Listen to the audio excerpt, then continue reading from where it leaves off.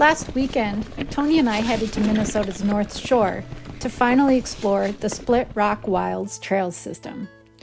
With the fall colors popping, we knew this was an opportunity we just couldn't pass up. Starting from a parking area in Beaver Bay, we briefly rode the Gitchi-Gami State Trail until we hooked up with the Split Rock Wilds trailhead. The first few trails were greens and blues, running parallel to Highway 61. When we turned the loop back northeast, we got a taste of the area's best technical black trails before finally descending back to the trailhead and towards Lake Superior.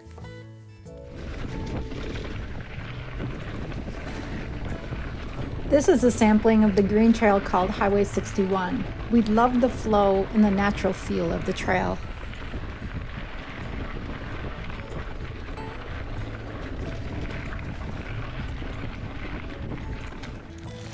Along these first few trails, we found some optional features to session.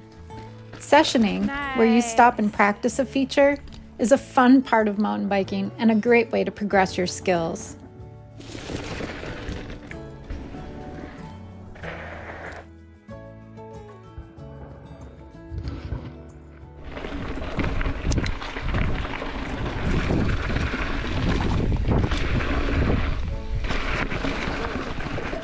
Feels a lot better. I'll let it flow more.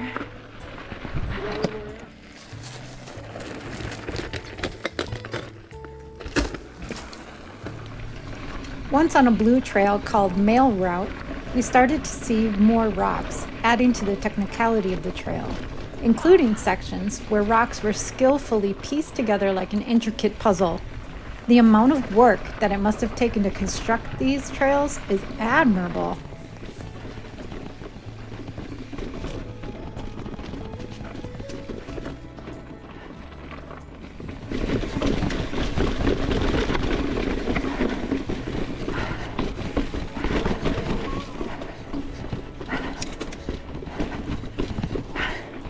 Check out this rock work.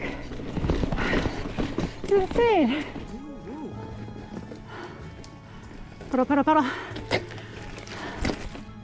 Some areas, like this one, had multiple line choices, adding to the fun. Nice.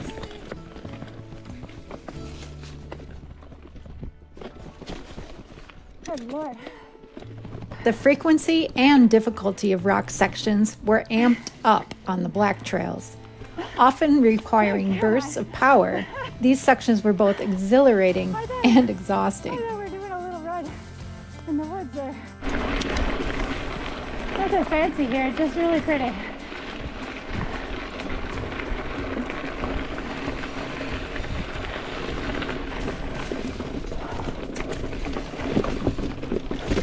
This is part of a black trail called Fade to Blue.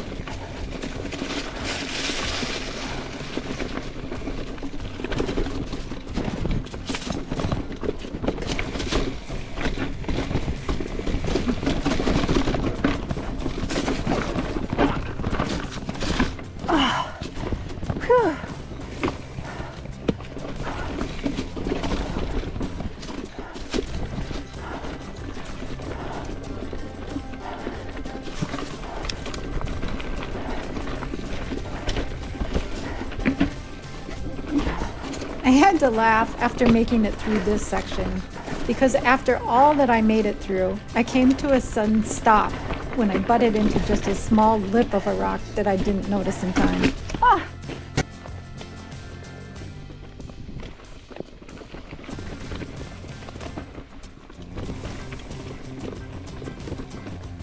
This trail really has it all.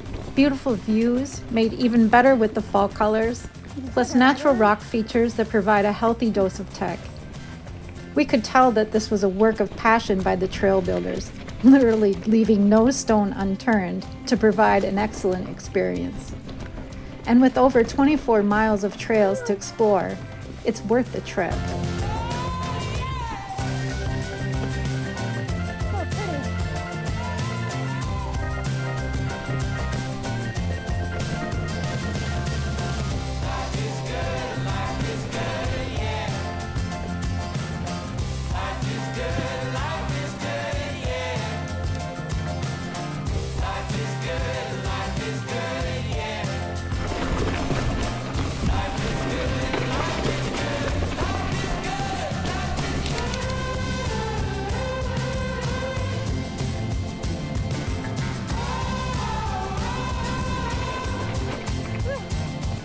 We were treated to a flowy descent on NeoVision as we made our way back to the trailhead and down to Lake Superior.